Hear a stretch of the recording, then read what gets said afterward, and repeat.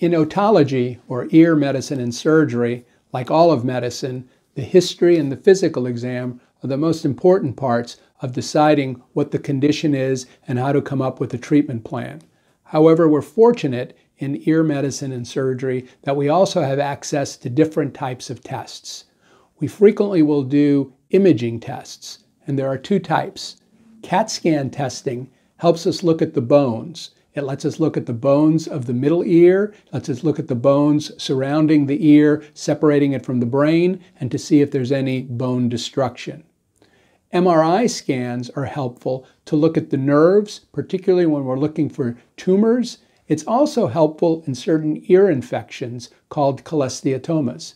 There are some special signals that the MRI will give us to distinguish between scar, inflammation, and cholesteatoma and that helps us plan the treatment and not miss important conditions that could get worse if they're not addressed. The other category of tests, which are very helpful, are tests of the inner ear and balance. The most common is the hearing test or audiogram, and we're able to test how the nerves are working, how the mechanics are working, how the eardrum is moving, and how the little reflexes work. We can also do special balance tests. And some of the ones that we use that are very helpful are the rotational chair test that lets us know how well the inner ear is telling the brain where the eyes need to be when you're moving. It also helps us identify inner ear hypersensitivity or migraine type dizziness, as well as situations where one ear is weaker than the other and how well the patient has compensated.